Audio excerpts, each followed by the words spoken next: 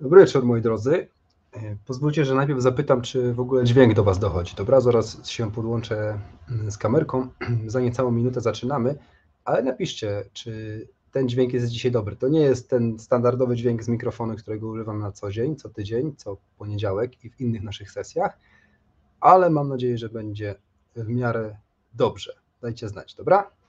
Basia pisze, że słychać. Super, Basiu, dziękuję Ci. To słuchajcie, za, za kilka sekund się już z Wami widzę, dobra? To już zostało dosłownie kilka, kilka sekund.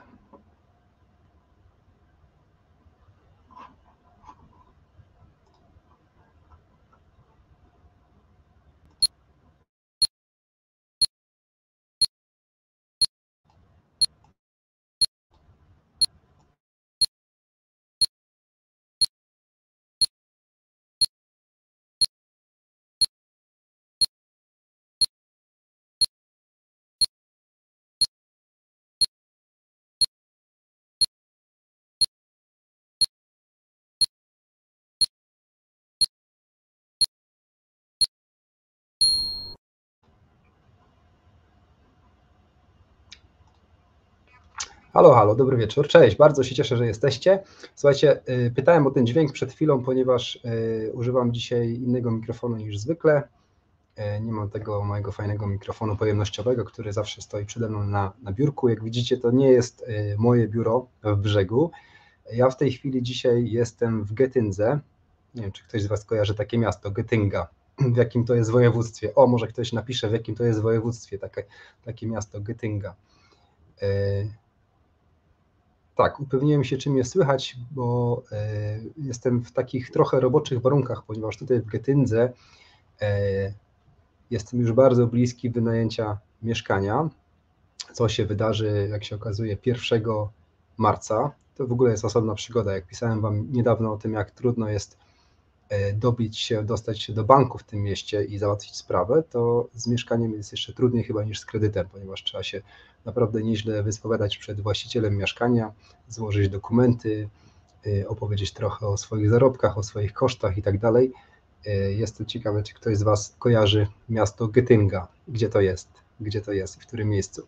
Mogę tylko dodać tak dla niepoznaki, że w porównaniu do mojego rodzinnego miasta Brzegu na Opolszczyźnie, E, słońce zachodzi tutaj chyba 32 minuty później.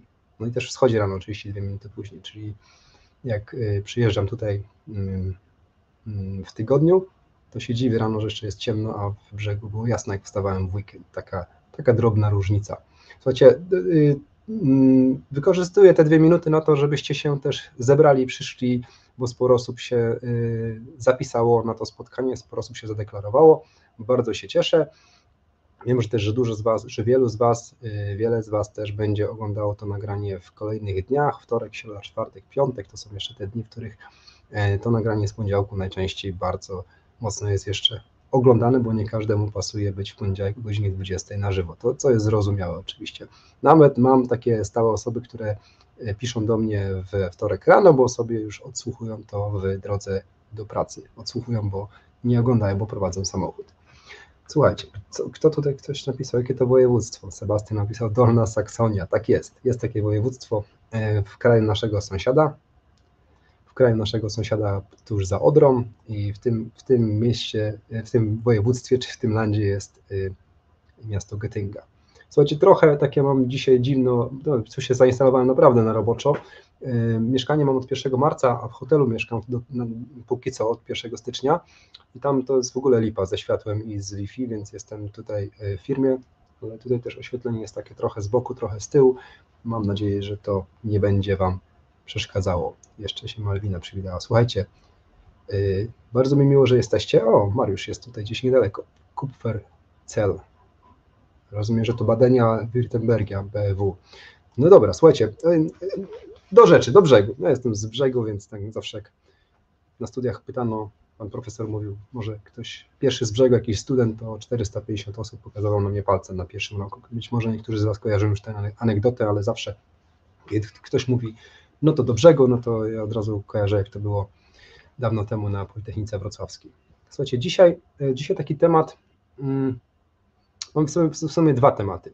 Dwa tematy. Pierwszy to jest temat w ogóle kryzysu i życia w kryzysie życia w kryzysie mam na myśli ten zewnętrzny kryzys, nie wewnętrzny, nie małżeński, nie osobisty, nie psychologiczny, tylko życie w kryzysie ekonomicznym, który, który nas otacza i który ma bardzo złożone przyczyny i bardzo wiele czynników na niego rzutuje. W którą stronę on się wychyla, bardziej, mniej, w jednych branżach mocniej, jest odczuwalny w innych mniej. Pytanie, co w branży linowej, co w naszym, w naszym świecie optymalizacji procesów, doskonalenia, naprawy, prostowania tego wszystkiego, co się, co się dzieje w firmach, to o tym za chwilę opowiem. A później chciałbym też w drugiej części spotkania, dzisiaj będzie bardzo sprawnie, nie będziemy przeciągać bardzo długo, obiecuję. W drugiej części spotkania chciałbym Wam y, opowiedzieć w kilku zdaniach y, i zaprosić Was na, do udziału w moim y, corocznym programie rozwojowym Masterclass Lean Expert. To jest taki program, który o Lean Management mówi kompleksowo, całościowo od początku do końca, od wizji, poprzez wszystkie metody, narzędzia, po budowanie całego systemu, plus jeszcze kilka ciekawych modułów, które są jakby towarzyszące temu, jak zarządzanie zmianą, czy, czy zarządzanie kompetencjami pracowników. To, chociaż to, to, to ostatnie to jest nieodłączna część filozofii linowej. To o tym w drugiej części, a w pierwszej trochę o tym, jak to, jak to z tym, z tym kryzysem jest. Słuchajcie, będę się wspomagał trochę prezentacją, ale nie za dużo. Będą to bardziej, bardziej teksty. Tylko króciutko opowiem, jakie mamy dzisiaj punkty na, w agendzie. Dzisiaj będzie mało obrazków, trochę tekstów i więcej opowiadania. I tylko przypomnę, jeżeli macie chęć y, się wypowiedzieć w danym temacie, zadać mi pytanie, to róbcie to na czacie, bez względu na to, czy jesteście teraz na LinkedInie, na Facebooku, czy na czy na YouTube, bo w tych trzech miejscach jesteśmy. Słuchajcie, dzisiaj y, to, co teraz się odbywa, to wstęp i organizacja. Krótko opowiem po prostu, jak będziemy dzisiaj funkcjonować. Y, opowiem, co ma lin do kryzysu, czyli tutaj o moim osobistym doświadczeniu, ale też o tym, co słyszę od moich kolegów z branży i co obserwuję na rynku, y, szczególnie z perspektywy pracownika, linowca pracownika, bo to jest myślę, że bardzo ważne. Dzisiaj się zastanawiamy, co z pracą, co będzie za miesiąc, co będzie za pół roku, jak będzie nasza firma funkcjonowała, jak będzie nasza branża funkcjonowała. E, powiem Wam, że ktoś, kto jest linowcem od niedawna, może się zdziwić, jaki wpływ kryzys ma na nasze działania linowe. O tym za chwilę. Później e, kilka słów, e, jakby to, to będzie połączone z tym kryzysem, kilka słów o barierach, które nam przeszkadzają linowcom w osiąganiu sukcesów. Co nam przeszkadza, dlaczego dlaczego mm, nie, nie, możemy osiągnąć tego, co byśmy chcieli, a nawet czasami nie możemy działać w tych obszarach, które byśmy chcieli. I tutaj posłużę się też trochę y, badaniem ankietowym, które prowadziłem y, w ubiegłym roku, czyli w roku 2022 i w 20, 2020, tak? czyli rok temu i trzy lata temu prowadziłem takie badanie y, ankietowe. Ono jest dzisiaj mógłbym powiedzieć, że ustandaryzowane, bo to są te same pytania w tej samej sekwencji. E, wysyłane do, mm, do, do wielu osób z mojego grona i co roku odpowiada około 450-470, jakoś powtórzyło się to po dwóch latach, więc mam pewien ogląd, jak to się zmienia i co Wam doskwiera i to będzie o tych, o tych barierach, czyli tutaj kłania się taka ankieta krótka, którą zrobiłem w tym tygodniu pod tytułem Co Ci irytuje w Twojej pracy? To jest jedno z tych pytań, w badaniu ankietowym, ale tutaj osobno też poprosiłem, żebyście się ostatnio wypowiedzieli w kilku miejscach, na LinkedInie, na Facebooku i też na Instagramie, w takiej krótkiej ankiecie w Stories i, i mam zagregowane wyniki podane w procentach, tam kilkaset osób y, zagłosowało, 405 bodajże w ciągu trzech dni, także całkiem, całkiem pokaźna grupa. Y, domyślam się, że to są osoby, które są z tego grona naszego, czyli nowego, i to są osoby, które są żywo zainteresowane tym, co ludziom przeszkadza w pracy, i zobaczycie, co to jest. E, później trochę o wyzwaniach, czyli o sposobach, żeby te bariery pokonać, czy żeby pokonać to, co nas irytuje, to, co nam przeszkadza. E, lubimy narzekać, lubimy mówić, że to czyjaś wina, że to ktoś, że to przez niego, tak, pokazujemy na szefa, na kolegę, na pracowników, że oni opór stwarzają i tak dalej, a ja y, uważam, że jednak trzeba by sobie troszkę spojrzeć e, głęboko w, we własne oczy, czyli w lustro i się zastanowić nad tym, czy my rzeczywiście robiąc to, co robimy, robimy mm, to w taki sposób, żeby dawało efekty. No to trochę pytań sobie zadamy. Ja na te pytania będę się starał też z Wami odpowiadać przez cały luty, bo taki mam pomysł na to, żeby tą ankietą y, podzielić się. Oczywiście to będą wy, wyjęte, zanonimizowane, zanonimizowane, o tak powiem, odpowiedzi czy opisy, bo tam są też pytania otwarte, więc to jest, to jest bardzo dużo materiału do analizy, ale będę się starał, żeby przez cały luty trochę Wam o tym opowiedzieć. Będę wrzucał to albo w formie postów, albo w, krótki, w formie krótkich spotkań na żywo. Jeżeli będziecie mieli ochotę, to mam taki pomysł, żeby, żeby właśnie nie wiem, czy się uda 7 dni w tygodniu, ale prawdopodobnie przez 5 dni w tygodniu się uda, żeby, będzie, żeby być y, o 18 z Wami i trochę na kilka kwestii poopowiadać, to się nagra, oczywiście będziecie mogli sobie obejrzeć. Tak to zrobimy. Później o master, Masterclass Lean Expert yy, yy, tylko kilka słów o nowej edycji, bo piąta edycja wystartuje 1 marca.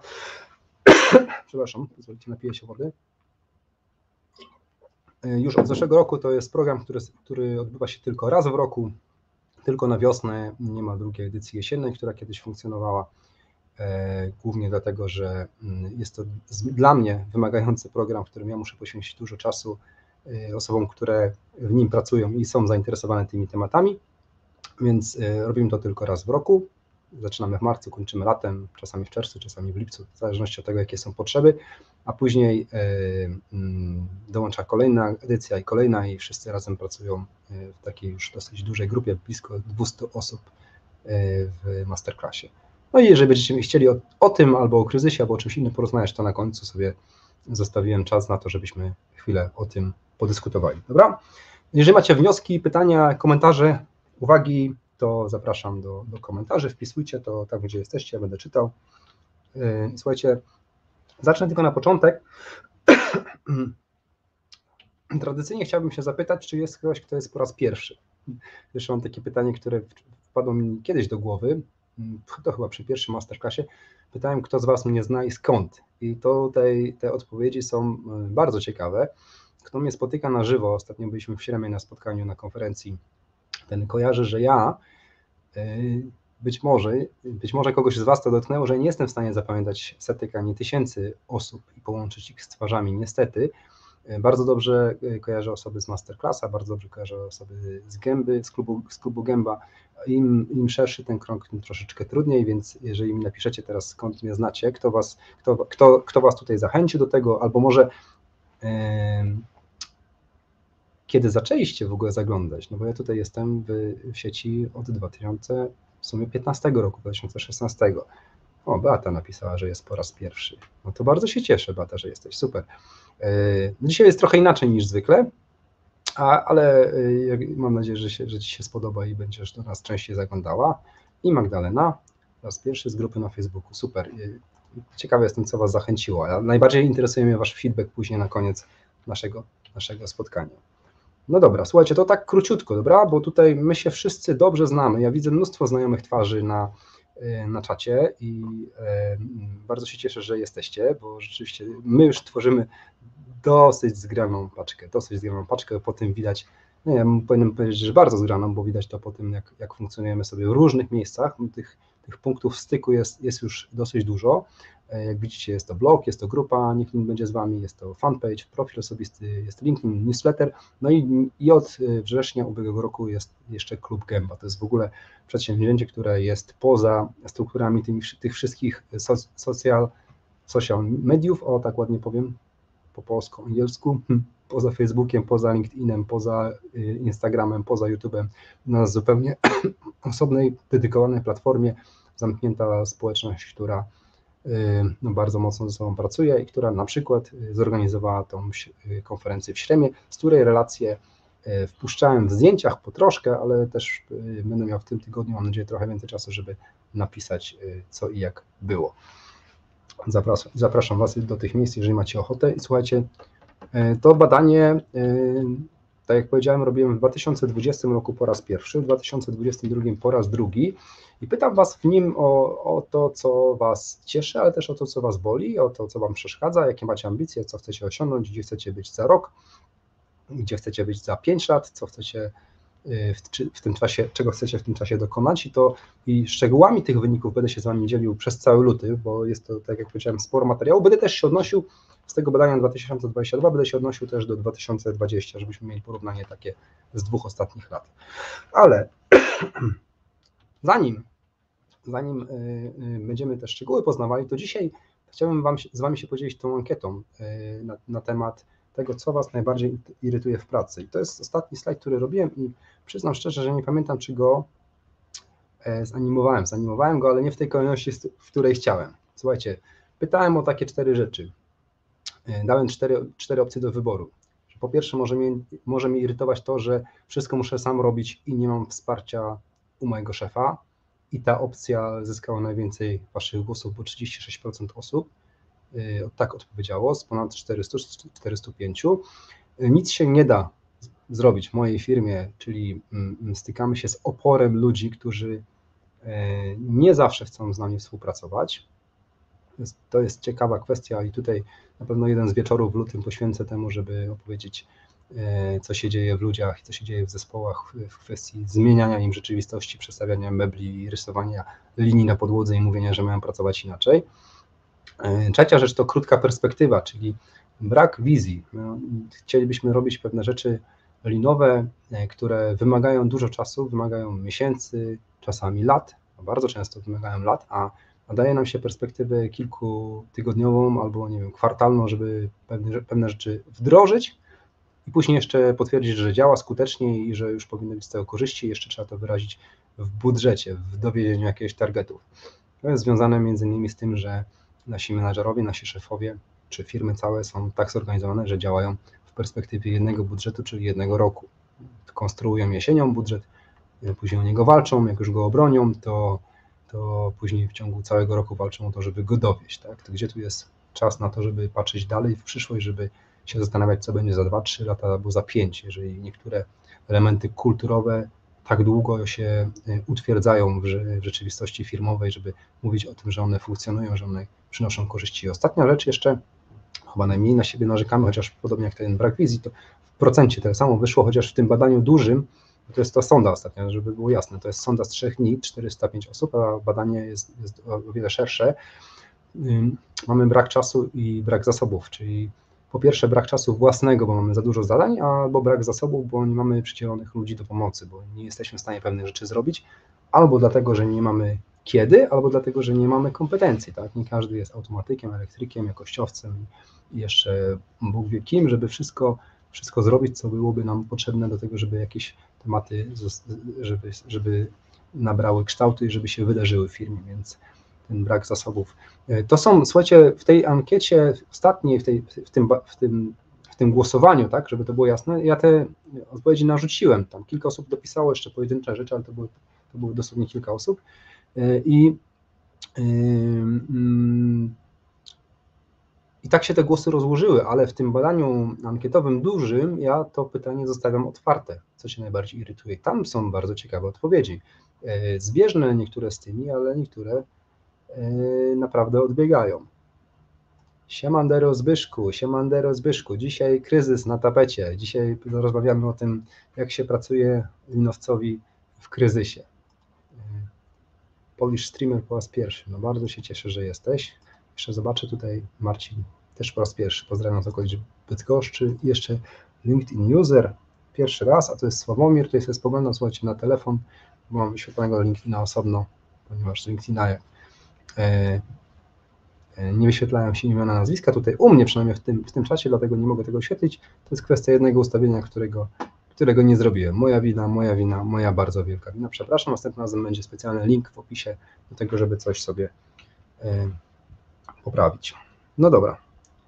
Słuchajcie, to za, zanim e, inaczej, zanim o tym kryzysie, e, trochę się cofnę, dobrze, niech sobie to wisi na razie. Bo to trochę, to trochę takie pokazywanie na zewnątrz palcem, co mnie, bo tutaj jakby w tej dominującej większości nie ma, nie ma wskazania na to, że być może yy, coś mi się nie udaje albo nie mogę czegoś zrobić, bo ja sam czegoś nie zrobię. Nie potrafię, nie, nie wychodzi mi to dobrze, albo nie angażuję się wystarczająco, żeby coś do końca dociągnąć, nie? żeby nie powiedzieć dopchnąć kolanem. E, chciałem dwa słowa powiedzieć o kryzysie i chciałbym, żebyście się zastanowili, a ci, którzy tego doświadczają, to żeby napisali być może, jak to jest z pracą linowca, bo to jest, słuchajcie, to jest rzecz dziwna i moi znajomi spoza świata linowego, spoza biznesu, nie potrafią tego pojąć i się zawsze dziwią, kiedy ja mówię, Słuchajcie, w okresie pandemii pracowałem najwięcej roboczo godzin, jakbym tak sobie chciał to przejrzeć, czy najwięcej wysiłku wkładałem w pracę w całym moim życiu. Mówię Wam, że nigdy dłużej więcej nie pracowałem. Przy okazji też zarabiałem dobre pieniądze. To oczywiście idzie w parze, ale chodzi o to, że kryzys pandemiczny spowodował Eldorado w obszarze doskonalenia procesów. I kto jest linowcem takim usługowym, a wiecie, że ja oprócz bycia w online tutaj, które stanowi powiedzmy, że 30% mojego czasu, może mniej teraz ostatnio, może 20 parę, jest, jestem albo byłem jeszcze do, do grudnia takim gościem, dzisiaj też jestem, tylko w innym miejscu, który e, wprost wkładał ręce w procesy, tak, podwijał o rękawy jak zawsze i wkładał ręce prosto w procesy z ludźmi i nad nimi pracował.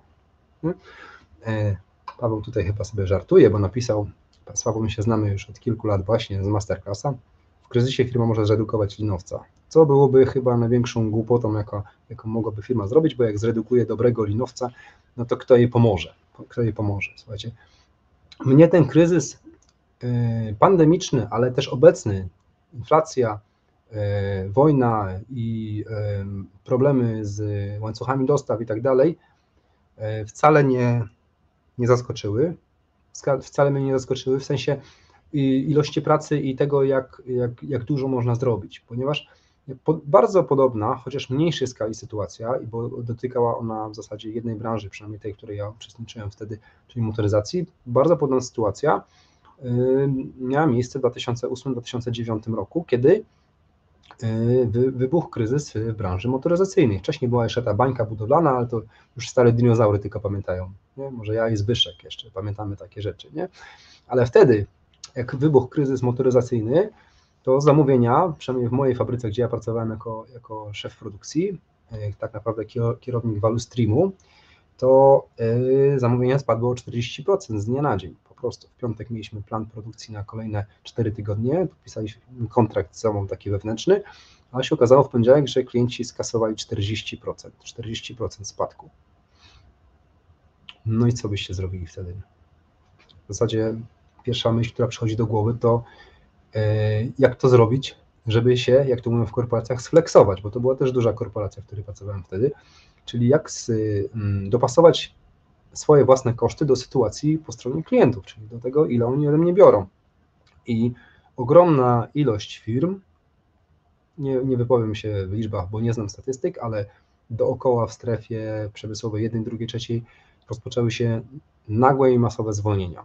I ludzie po wielu latach pracy lądowali na bruku. Okazało się, że w mojej firmie ktoś miał inny pomysł. Powiedziano, dobra, zobaczymy, to na pewno odbije, ten kryzys odbije, więc e, co możemy teraz zrobić? No co by linowcy zrobili, kiedy mają wolne ręce, mają operatorów, inżynierów, technologów, mechaników, logistyków do dyspozycji. Co robią? No, analizują i optymalizują procesy. To jest, to można robić wtedy te rzeczy, których nie da się zrobić normalnie na biegu. Nie da się zrobić na biegu w trakcie działania wszystkich, y, działania wszystkich procesów i przy dużych zamówieniach, kiedy jesteśmy zwykle tam na styk z, ze zdolnościami dostarczania czy to produktów, czy usług, nie? bo nikt tam sobie nie przerysowuje zasobów, tylko nagle się okazuje, że mamy wolne ręce, a, a do tej pory nie mogliśmy. Nie? Kto, kto jest linowcem i próbował wyrwać sobie jakąś linię do, do optymalizacji, tak, albo ludzi, ten wie bardzo dobrze. Akurat firma, w której ja pracowałem, postanowiła, że zadziała trochę inaczej niż cały rynek, czyli zajęła się swoimi procesami. zaczęliśmy się uczyć mapowania VSM, zaczęliśmy robić warsztaty Kaizen i tak dalej, tak dalej, wszystko co w książkach można wyczytać i zaczęliśmy poprawiać swoje procesy. Ile to trwało? Trwało pół roku. Pół roku wytrwaliśmy mając prze, przewymiarowaną załogę, a zrobiliśmy bardzo dużo z tego co pamiętam, bardzo dużo i y, gdzieś na końcu musieliśmy, zapada w końcu decyzja o tym, żeby jednak y, zredukować załogę. Tak, tak y, w skrócie tylko powiem, że po pół roku musieliśmy rzeczywiście zwolnić pewną część załogi, ale w związku z tym, że rynek za chwilę, dosłownie za kilka miesięcy odbił, a myśmy sobie poprawili swoje, swoją sprawność, że tak powiem, biznesową, myśmy zaczęli naszych ludzi z powrotem przyjmować i Y, dla znakomitej większości z nich y, sprawa zakończyła się tak, że oni przez ten okres, kiedy byli poza firmą, y, przeżyli z tych odpraw, które firma im przekazała na, na, w momencie rozstania. Także większość załogi wróciła. Ale co się stało z firmą? Firma wróciła do gry silniejsza. Firma wróciła do gry silniejsza z bardzo dobrymi procesami, ze zmotywowaną załogą, i zaczęła wygrywać w swojej wewnątrz, wewnętrzną konkurencję wewnątrz swojej korporacji, wewnątrz swojej dywizji i zaczęła ściągać linie, projekty z, z innych plantów, co skutkowało w sumie ich późniejszym zamknięciem. Dzisiaj to jest zakład, który jest 5-6 razy większy niż kiedyś, jak ja pamiętam. Nie wiem nawet dokładnie, jaki jest dzisiaj rozmiar Autolivu Wielczu, duży klaster po prostu. I to, to się odbyło dzięki temu, że, gdzie, że ktoś miał wtedy głowę, pamiętam naszego pan menadżera, który, który te tematy odpalił i że rzeczywiście się tak, tak to się zaczęło, a później jak już to się, ta, ta kultura poprawiania, czyli wykorzystywania y, okazji w kryzysie y, się zakorzeniła wśród ludzi, wśród załogi, nie mam dzisiaj najświeższych informacji, ale wierzę, że jest tak do dzisiaj, bo doskonale sobie radzą z tego, co widzę. No tak, i słuchajcie, no i minęło kolejnych kilka, kilkanaście lat i nagle wpadliśmy w, jakąś, w jakieś inne zawirowanie zupełnie z zupełnie innych przyczyn, z zupełnie innych. Nie, najpierw była pandemia, przerwanie łańcuchów dostaw, później tematy ekonomiczne, inflacja, brak dostępu do zasobów energetycznych, wojna i tak dalej ale skutki dla firmy są bardzo podobne, czyli yy, przerysowane, znaczy spada, spada zapotrzebowanie, przerysowane zasoby. Co my wtedy możemy zrobić? No możemy się poprawiać. No i yy, teraz już bardzo wyraźnie widać, że w tej chwili, zresztą zobaczcie na ogłoszenia, firmy konsultingowe rekrutują na potęgę, tak? Prawie każdy wystawia ogłoszenie, że potrzebuje linowców do, do pracy, że chce dać ludziom pracę, chce dać ludziom zarobić, więc uważam, że yy, kryzys to jest jednak czas żniw dla linowców. Tak, w firmach, w których y, nawet y, ci linowcy funkcjonowali i nie trzeba ich dzisiaj ściągać, pojawiła się otwartość na to, żeby jednak ich posłuchać, po to, żeby, żeby jednak y, sięgnąć po tą wiedzę, sięgnąć po know-how i po to, żeby pomagać firmom. I tutaj jakby okazuje się, że te nasze narzędzia doskonalenia są nie tylko dobre na to, żeby poprawiać procesy, jak jest dobrze, ale generalnie są dobre wtedy, kiedy jest nam to potrzeba, czyli że ktoś od nas czegoś chce, no po linowemu, że od, od nas wyciąga, tak, czyli jest w pulu, a nie, że my puszujemy, pchamy, chodźcie zrobimy tam Kaizen albo zróbmy coś innego, to jest akurat bardzo nielinowe. Ja nie lubię tego, jak jest taka organizacja, w której trzeba tak pracować, to, to znaczy, że ona nie chce być linowa i ona nie rozumie po co to wszystko, no a dzisiaj wydaje się, że wszyscy chcą być linowi, tak? wszyscy chcą, wszyscy chcą poprawić swoją sprawność. Niektórzy są tak przyparci do muru, że muszą to zrobić, żeby przeżyć. No i teraz,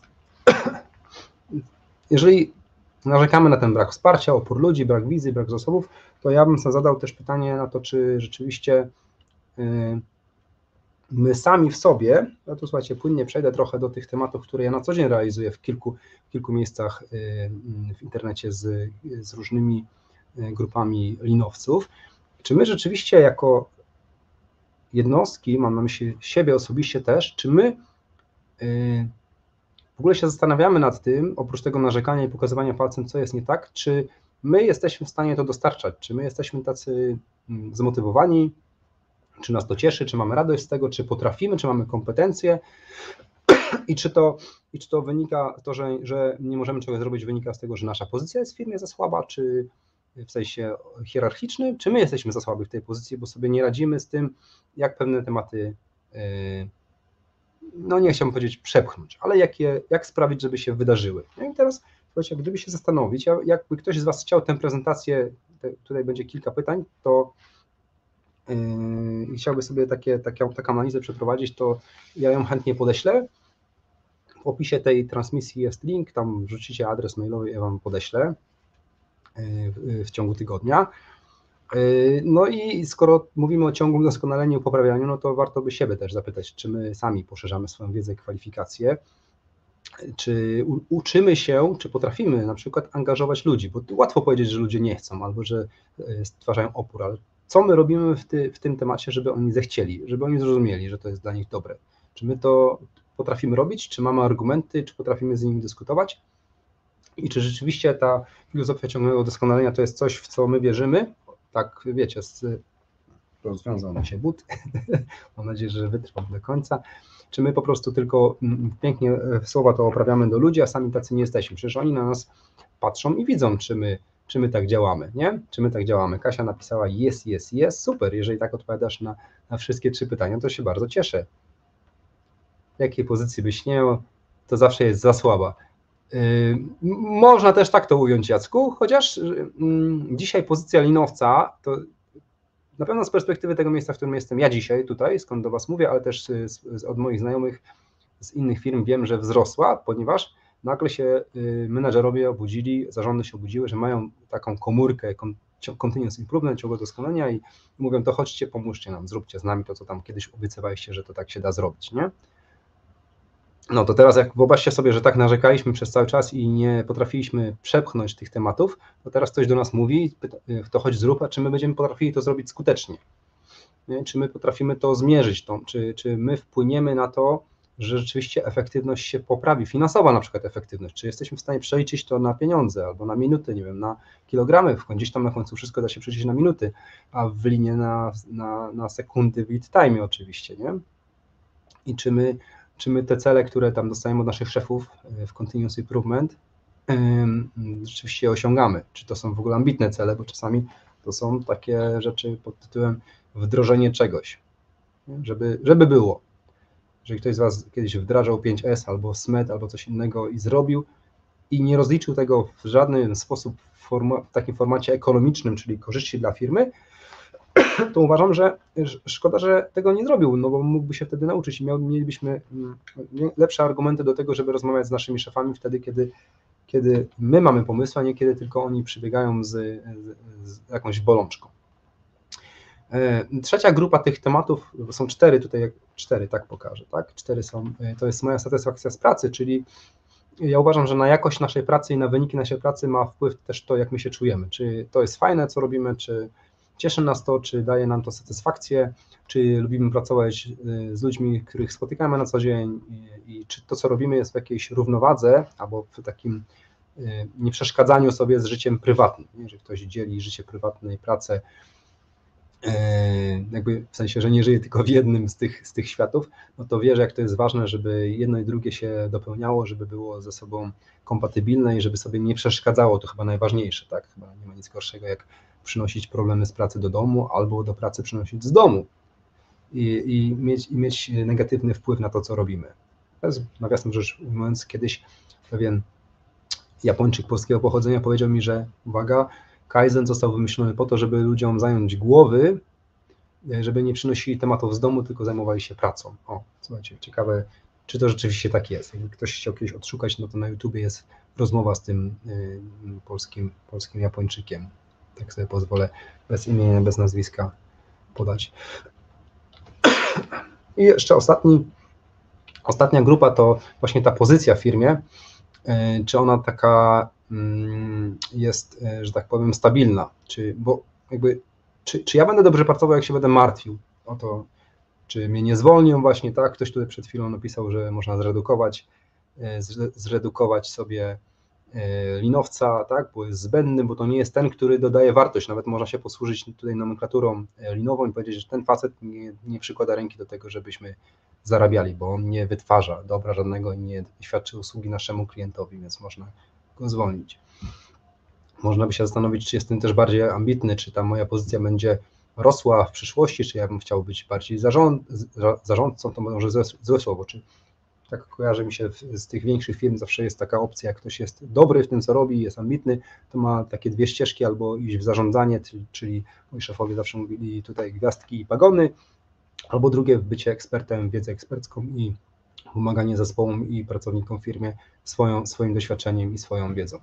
No i też bym się zastanowił na, na waszym miejscu, czy ja się też na swoim zastanawiam zawsze, czy ja y, widzę siebie w tej pracy za jakiś czas, nie? za jakiś czas, także za pięć lat na przykład, nie? czy ja siebie widzę. Jak mnie dzisiaj zapytacie, czy siebie widzę, to widzę bardzo siebie w tej, w tej pracy, w której jestem dzisiaj.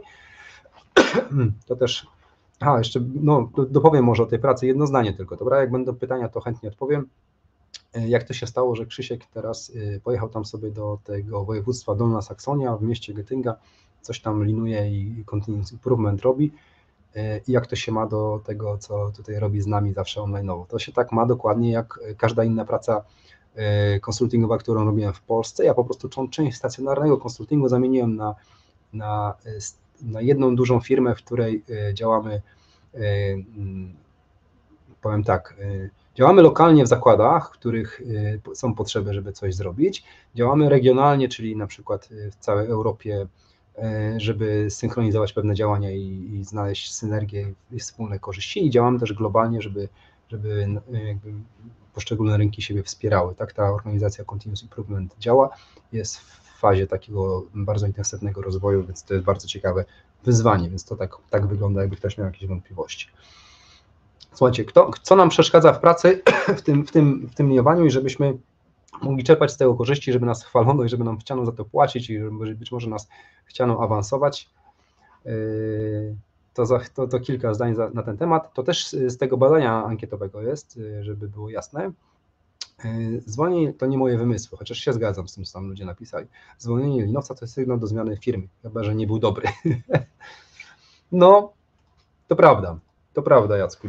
Zgadzam się, zgadzam się z Tobą w 100%. W 100%. E, znowu bym poszedł po prostu w kierunku e, tego, trochę, trochę odnosząc się do TWI, jeżeli uczeń e, nie potrafi, to znaczy, że nauczyciel nie, nie nauczył, to ja bym to parafrazował i powiedział, jeżeli, jeżeli projekty linowe, jakieś optymalizacje, jakieś wdrażanie narzędzi systemów nie działa, to znaczy, że linowiec tego nie zrobił po prostu koniec, kropka. Nie? Czy mu ktoś pomógł, czy nie pomógł, czy mu przeszkodził, czy nie, czy go wspierał, czy nie wspierał. Fakty są takie, że, że się tego nie udało zrobić. Więc y, jeżeli nie udało się tego zrobić, to warto się zastanowić. Ja zawsze mówię, zanim pokażesz palcem na kogoś innego, to y, musisz mieć 100% pewności, że na Twoim podwórku wszystko gra, wszystko jest tak jak trzeba.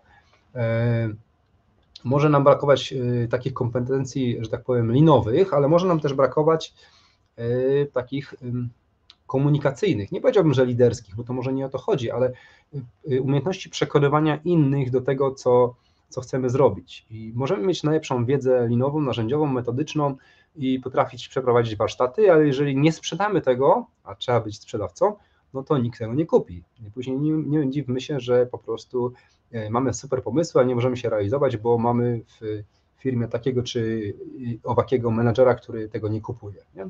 Dlaczego on tego nie kupuje? Bo nie potrafimy mu sprzedać. Taka jest prawda. Nie? nie dlatego, że on nie chce, nie lubi, nie rozumie, tylko nie potrafimy tego opakować i mu dobrze przekazać. Przepraszam. O, to jest taki jeszcze dobry punkt.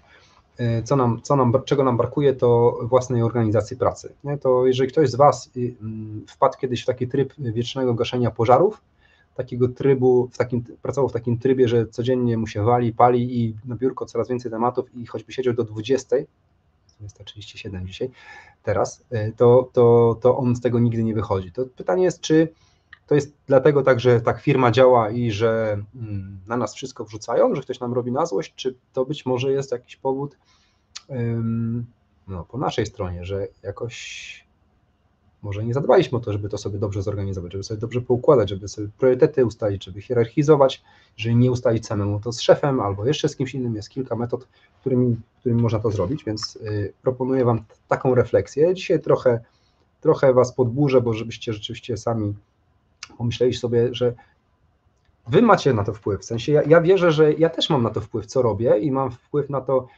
jakie są wyniki mojej pracy i, i, wpływ na to, czy zespół, z którym pracuję, osoby, które spotykam, y, chcą kupić, nie? w cudzysłowie, kupić to, co ja im proponuję. Y, jeżeli to robią, to znaczy, że robota jest dobrze wykonana, moja, linowa, nie? bo jakby filozofia, narzędzia, metody linowe, one zostały zweryfikowane już przez dziesiątki lat, one są dobre, one są dobre, tylko trzeba je dobrze zrobić, a, żeby je dobrze zrobić, trzeba je dobrze sprzedać. No i coś, na co możemy powiedzieć, mamy mniejszy wpływ, to jest ten brak wsparcia, brak wizji, ten krótki, krótki horyzont budżetowy. To jest temat, w którym, którym, w którym musimy nauczyć się pływać, o tak bym powiedział. Musimy się nauczyć pływać i potrafić sobie z tym radzić. I nie będę tego tematu dzisiaj rozwijał, bo, y, bo tak jak powiedziałem, przez cały luty będę chciał do Was podchodzić z pewnymi zagadnieniami, trochę o nich opowiadać. Będę mówił o swoich doświadczeniach, będę trochę mówił o zasłyszanych rzeczach, będę cytował to, co jest w badaniu ankietowym, ale będę głównie mówił o swoich, doświadczeniach, o swoich doświadczeniach z ostatnich 20, 21,5 roku, o tak powiem, pracy zawodowej. Liczę sobie od, od, od ukończenia uczelni, czyli od dyplomu w 2001 roku. I e, ciekawe rzeczy tam się działy przez, e, przez te wszystkie lata i myślę, że mogę, mogę podpowiedzieć, jak będziecie chcieli o tym porozmawiać oczywiście. Czyli słuchajcie, powiem tak, niech, niech pierwszy, o, niech pierwszy pokaże, wskaże palcem ten, kto ma, ma czyste sumienie. Tu sobie spojrzałem, czy wszystko dobrze na laptopie jest, działa. E, zanim pójdziecie i będziecie narzekać, że coś e, nie działa, że ktoś Wam nie chce pomóc, że Wam nie daje zasobów, to sobie odpowiedzmy na pytanie, czy my rzeczywiście to robimy tak, jak powinniśmy, tak jak potrafi, tak jakbyśmy chcieli, żeby na przykład ktoś dla nas robił. I tutaj mógłbym się odwołać nawet do kilku osób z imienia i nazwiska, które E, które takie tematy ze mną kiedyś przerobiły, przedyskutowały w wielu różnych aspektach. Dzisiaj albo robią dobrze swoją robotę w tej firmie, w której pracowały, albo, tak jak Jacek napisał, e, że zmieniły firmę po prostu. Nie? Ktoś jest dobry i on odszedł, to znaczy, że firma jest jakaś do D, albo odwrotnie, ktoś jest słaby i firma go zwolniła. To, to jest jakby pozostaje kwestią indywidualną, ale, ale jak nauczymy się to, tego wszystkiego, to, jest, to sobie sami poradzimy po prostu na rynku. I nie straszne będą nam kryzysy, absolutnie.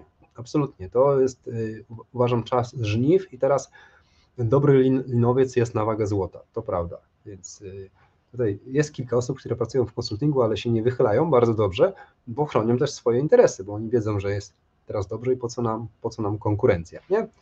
Jednego macie mniej, bo Dobrowolski wyjechał i nie będzie wam podbierał klientów, co teraz robię? Teraz słuchajcie, y, wszystkich przekierowuję, nie? Jak dostaję jakieś zapytanie w jakimś konkretnym temacie, y, to y, no nie robię tego codziennie, bo ostatnio jestem mocno zajęty, ale raz w tygodniu siadam do maili i przekierowuję do tych osób, które mają w tym obszarze dobre kompetencje i mają dobre doświadczenia i potrafią pomóc. Także niektórzy z moich kolegów linowców się cieszą, że, że Krzychu pojechał, a oni teraz dostają te mm, zlecenia. Ale generalnie praca jest ja bym się tym nie martwił. Dobra.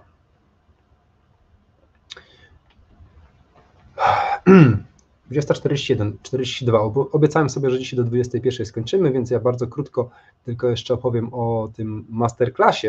Także te wszystkie te tematy, które dzisiaj rozpocząłem i trochę już naświetliłem, będą rozwinięte w ciągu, w ciągu całego lutego.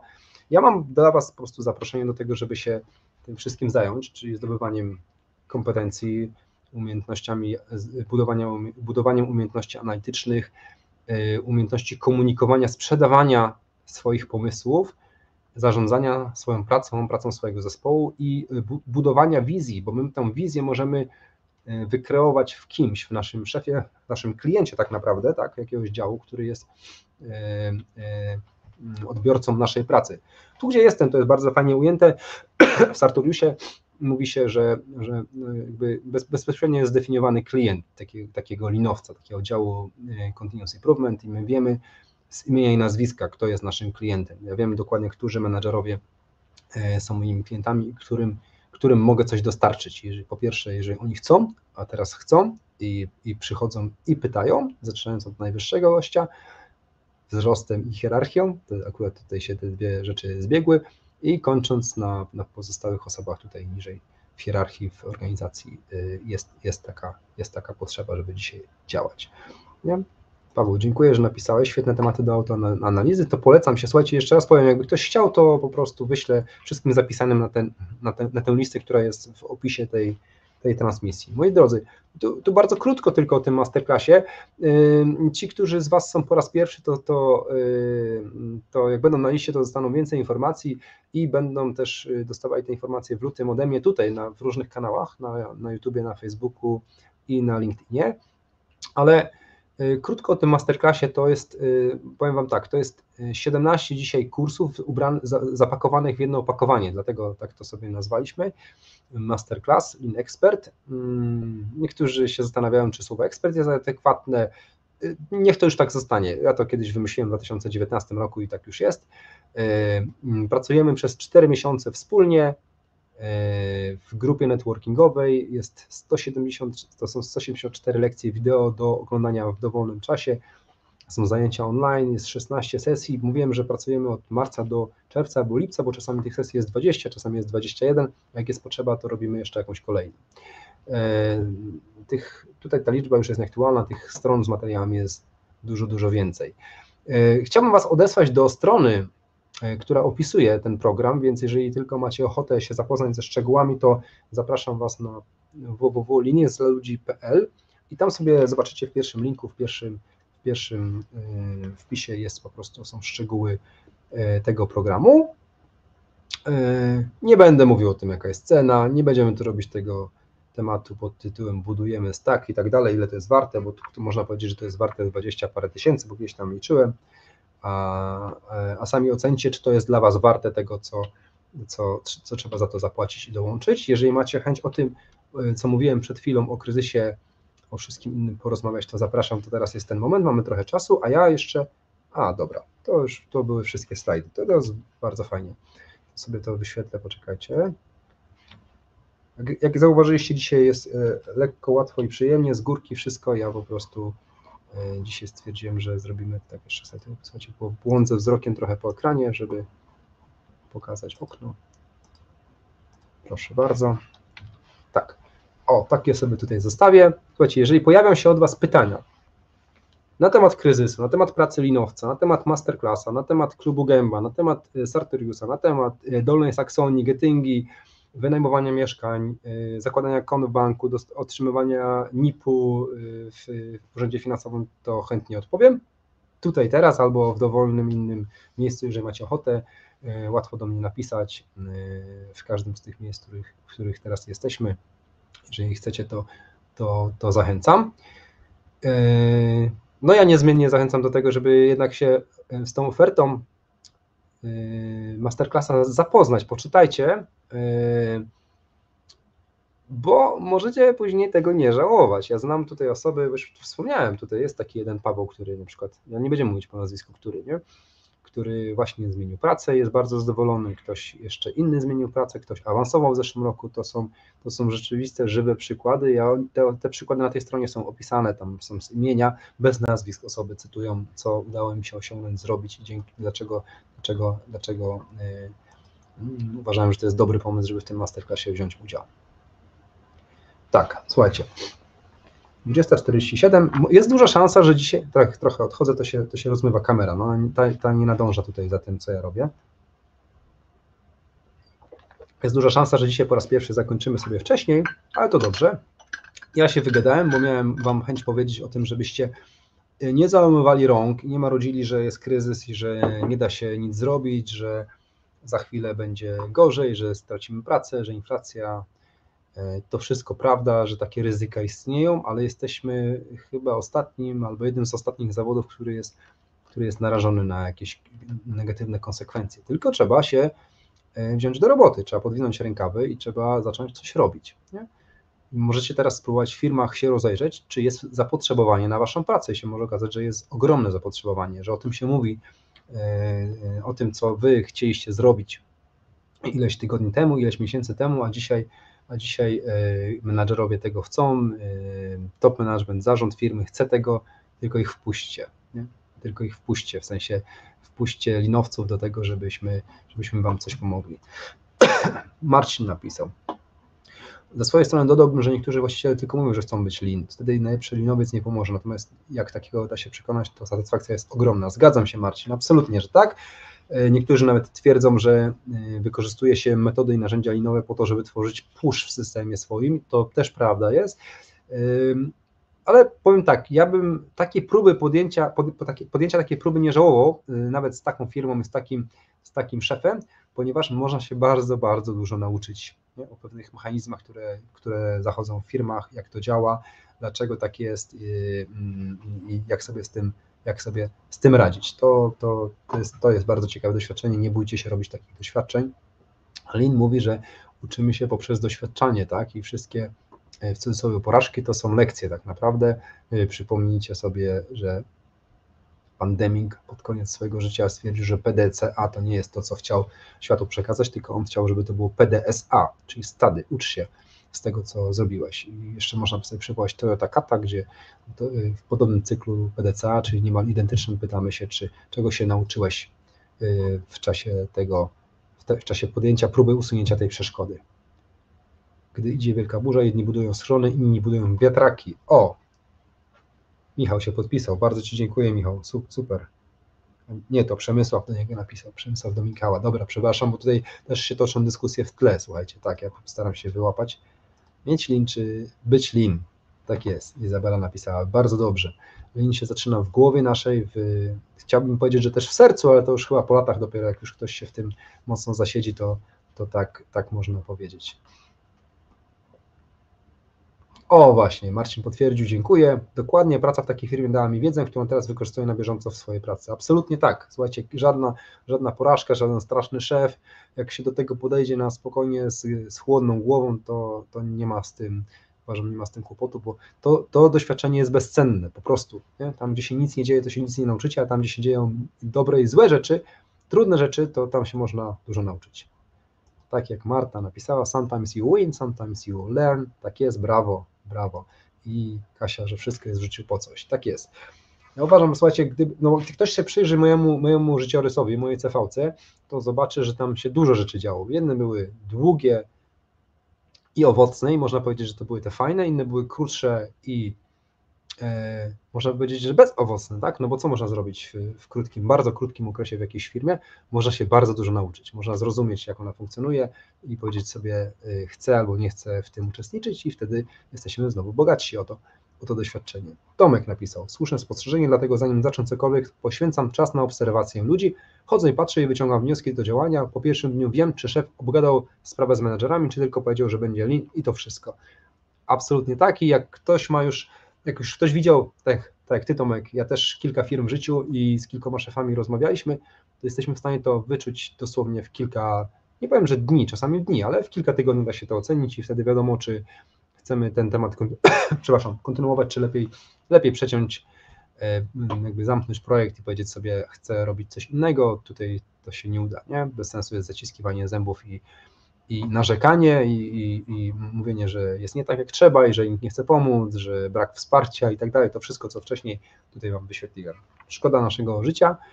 Jak już jesteście w tym miejscu, że jesteście w stanie to dobrze wyczuć i ocenić, to spoko. Jeżeli tego nigdy nie przeżywaliście, to warto spróbować. I nie bójcie się, ja bym się nie bał po prostu próbować i y, jakby doświadczać tego, że się nie udaje, tylko żebym wtedy starał się wyciągnąć wnioski, dlaczego się nie udało, żebym miał z tego wiedzę i żeby to mnie budowało, a nie żeby, żeby kończyło się tylko na tym, nie udało się, nie powiodło się, nie zrobiłeś, dziękuję. Nie? Właśnie chcę pójść tym tropem co Tomek. Bardzo dobrze, Paweł. Tomek potwierdza jeszcze, że nic na siłę. No pewnie, że tak. No pewnie, że tak. Ja takie porażki, słuchajcie, one w ogóle nie bolą. Nie? Wtedy, jeżeli ja traktuję jako lekcję, ja idę sobie na lekcję. Wyobraźcie sobie, że idziecie gdzieś, gdzie Widzicie, patrzę teraz tam przez szybę na produkcję, że mi, się, że mi się nie uda. Gdybym wiedział, że mi się nie uda, to mógłbym powiedzieć, dobra, nie idę, bo mi się nie uda. Ale jeżeli tego nie spróbuję, to jak pójdę do innego wyzwania w innym miejscu, być może do firmy mojego życia kiedyś, e, mówię teraz jakby waszym trochę imieniu, i tam pójdę i polegnę, to już będzie trochę za późno, żeby się uczyć, nie? Bo nie ma, nie ma opcji, no nie da się nauczyć nic z książki. Porażka jest składową sukcesu, napisał Tomek. Tomku, pięknie Ci dziękuję za ten komentarz, bardzo fajnie. Słuchajcie, moi drodzy, 21 się powolutku zbliża. Ja jestem dzisiaj konsekwentny, mam zamiar skończyć przed 21. Hmm. Macie coś jeszcze do dodania? Jakiś komentarz albo pytanie? Chętnie odpowiem. Jak nie, to piszcie na priv, dobra? Na maila, na Whatsappa, na Messengera, gdzie tam Wam jest wygodnie, na wiadomości na LinkedInie. Tak, wiem, mam zaległości od zeszłego tygodnia trochę w korespondencji i to mi się tak ostatnio y, nawarstwia, ale to jest taki moment właśnie, w którym właśnie zmienia się obszar mojej pracy i jeszcze stare tematy się wszystkie nie pozakończały, nie, nie domknęły, nowe się otworzyły, więc y, jest jakby taka górka, kumulacja, trzeba ją przejść po prostu, trzeba ją przejść, nie? Y, każdemu z Was odpiszę, tylko może to zająć chwilę czasu. Jak ktoś ma super, hiper, pilną sprawę, to niech pisze drugi raz, trzeci raz, to mi się powiadomienie pojawi i wtedy jest, jest, to, jest szansa, że się, że się szybko złapie, nie? Niektórzy wykorzystują takie kanały, na których ja rzadko odpisuję, w sensie, bo tam rzadko ktoś napisze. No, I ostatnio e, bardzo ciekawą korespondencję miałem na Instagramie. Tego, tego, tego komunikatora, jako, w sensie Instagrama jako komunikatora używam najrzadziej. Zaglądam naj, naj, najrzadziej. No dobra, moi drodzy, to ja zrobię tak. Powiem Wam, że bardzo Wam dziękuję, że wpadliście. Nie bójcie się kryzysu. E, bierzcie sprawy w swoje ręce e, uczcie się. Jeżeli widzicie, że jest temat trudny, projekt jest skomplikowany i że polegniecie, ja bym się pakował w ten projekt. Nie? To oczywiście są różne sytuacje w takiej, jeżeli to ma, ma, moja nauczka ma polegać na tym, że ja dostanę po głowie później z jakiegoś powodu, nie daj Boże, nie wiem, nawet pracę stracę, bo są tacy, tacy szefowie takie firmy, to okej, okay, no to y, mówię zimna głowa, tak, chłodna głowa, rozsądnie, ale jeżeli y, będę próbował, to może się okazać, że diabeł nie jest taki straszny, jak go malują, że tego słonia da się pokroić na mniejsze kawałki, tak jak pizzę zjeść po trochę i się, i się wszystko uda, po drodze się nauczymy. Nie? Takie to podejście nasze iteracyjne, linowe, polecam Toyota Kata sobie poczytać. Jest też webinar mój na YouTubie y, w temacie Toyota Kata. Zobaczcie, y, jak to można, jak to można zrobić, jak się uczyć. Jest też webinar o PDSA z Andrzejem Koniukiem. Andrzej, mam nadzieję, w tym roku uda nam się zorganizować ten ostatni moduł, który ciągle jest moim marzeniem, żeby był o zręczności finansowej dla inżynierów.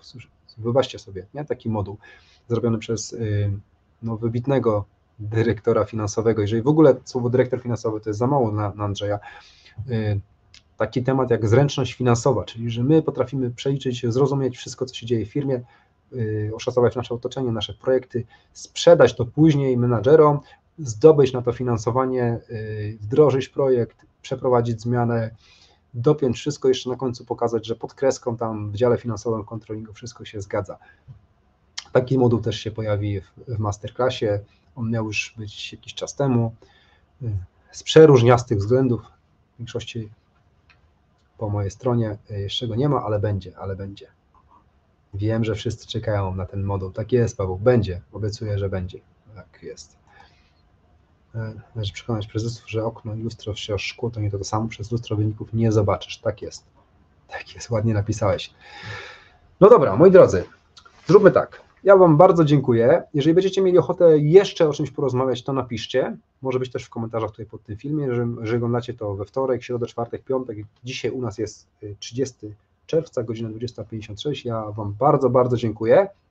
Mam nadzieję, że Wam się przyda to, co powiedziałem. Mam nadzieję, że Was chociaż odrobinę zaraziłem tą pozytywną energią. Ja jestem mocno zbudowany tym, co się dzieje w linowym świecie, nie tylko tu, gdzie jestem, bo y, wiecie, że mam kontakt po prostu z ogromną liczbą linowców y, w całej Polsce i słyszę tylko dobre sygnały. No nie słyszałem jeszcze, żeby kogoś zwolniono. Chyba mamy same do, dobrych linowców tutaj. Do Jacka się uśmiecham, który zasugerował, że można by zwolnić, gdyby był słaby. Nie? Myślę, że jak ktoś byłby słaby, to by się tutaj nie, nie wychylał, nie pokazywał. Nie, to taki żarcik. Dziękuję Wam bardzo, słuchajcie. Dziękuję Paweł, dziękuję Jacek, dziękuję wszystkim, którzy przyszli. Jacku, zawstydzasz mnie mówiąc, że się uczysz, bo to ja się od Ciebie uczę. Podglądam Cię za każdym razem, kiedy jest tylko okazja gdzieś poczytać coś. E, moi drodzy, to spokojnego wieczoru, e, wszystkiego dobrego w tym tygodniu. Mm, no i mam nadzieję, że całą jest częścią z Was zobaczę się w Masterclassie. Nie będzie takiej okazji do przyszłego roku 2024. E, jeszcze dwie rzeczy dodam. Y, ostatni raz taka cena będzie jak w 2020, teraz 2023 i y, jeżeli ktoś jest w klubie, w klubie Gęba, to też ważne, jeżeli ktoś jest z Was w klubie Gęba, to, to ci gębowicze to wiedzą, że mają 50% na wszystko, nie? forever, zawsze. Tak, taką mamy paczkę fajną. Dziękuję Wam bardzo, wszystkiego dobrego. Do usłyszenia, do zobaczenia. Będę z Wami nie tylko za tydzień, ale pojawię się od 1 lutego. Postaram się być codziennie, chociaż na kwadransik. Trzymajcie się tam byście wrzucili kciuka albo serduszko, to będzie mi bardzo miło. Będzie mi się mm, sympatycznie zasypiało dzisiaj. Nie?